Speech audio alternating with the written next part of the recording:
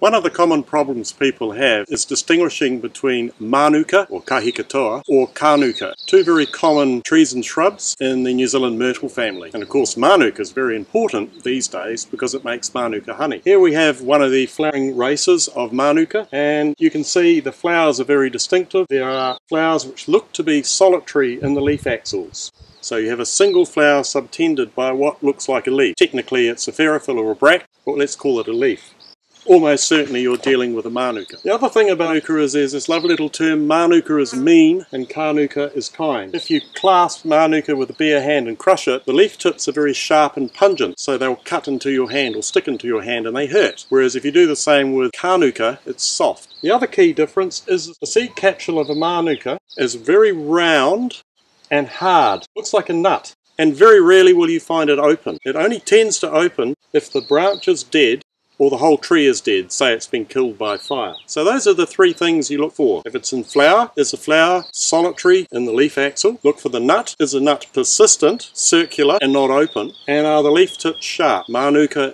is mean, Kanuka is kind.